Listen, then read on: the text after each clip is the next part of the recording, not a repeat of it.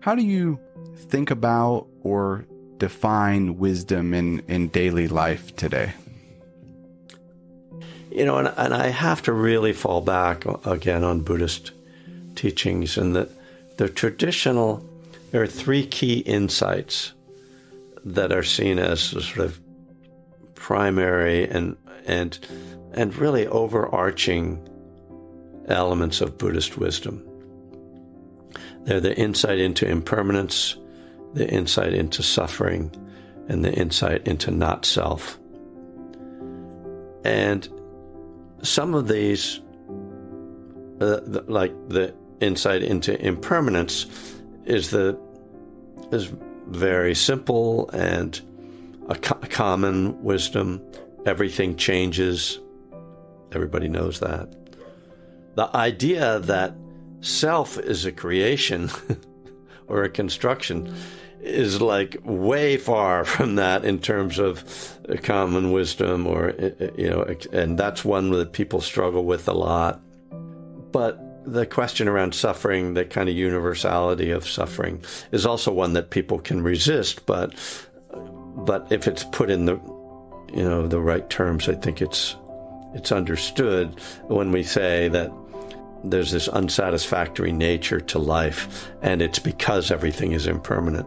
Then the question around self becomes uh, uh, the simpler way to get at it is to realize how self-centeredness and selfishness cause suffering, you know, and and to see that who we think we are is something that changes over time. So there is not some stable version of yourself. All you have to do is look at a picture of yourself as a child and realize, well, that's not me. And and so then the question becomes, how do we create this? And that's you know a whole other series of podcasts. In terms of that question of how we apply that in our daily lives, which I think is what you're asking, there these three insights actually are really, really helpful to keep in mind.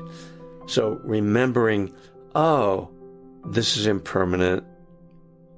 It's going to change. We know, like, that's a very freeing thing. Like, okay, I'm going to get through this. I've got a cold, but I'll be okay by next week. Or, you know, all the things that we kind of are able to just remember, okay, it's impermanent. Seeing suffering is more about, oh, am I creating suffering for myself right now? Oh, how am I doing that? So remembering that if I am uncomfortable, it's usually because I'm kind of creating it with my own mind. That's very helpful. And then around self, seeing how, like, oh, like I'm really upset because that person said something to me that affected my ego. Like, ah, oh, you know, don't take it personally. That's the the shorthand for it, like just don't take it personally.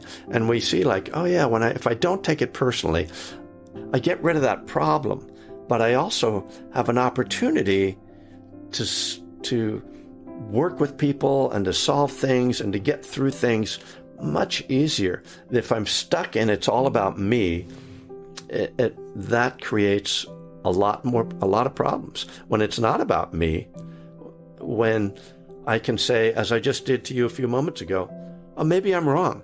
So we can see that actually humility is tied in with attachment to self. And, and yeah, that's, it's a well known quality that's very freeing is humility.